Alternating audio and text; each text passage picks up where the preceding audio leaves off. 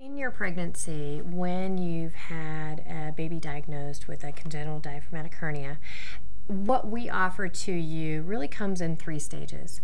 The first is the initial evaluation, which is done here at UCSF. And with that initial evaluation, we do a very detailed ultrasound of all the different organ systems of the, of the baby.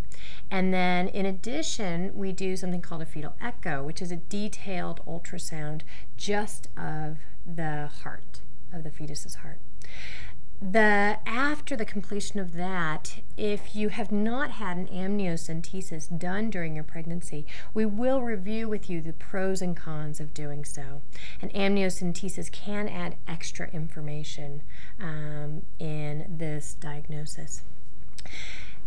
After that initial evaluation, if you decide to continue on with your pregnancy, the next stage of what we offer is essentially ultrasounds about every four weeks to monitor the growth of the baby.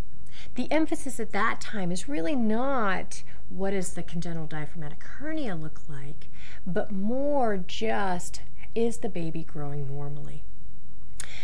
Finally, at 30 to 32 weeks gestation, the other thing we will offer is something called antenatal testing or non-stress test.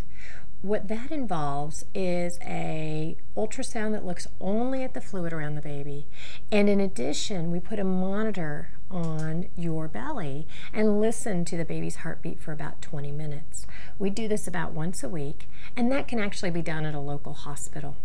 The reason we do both the ultrasounds for growth as well as this antenatal testing or non-stress test is we're simply trying to make sure that the baby is doing well on a uh, weekly basis.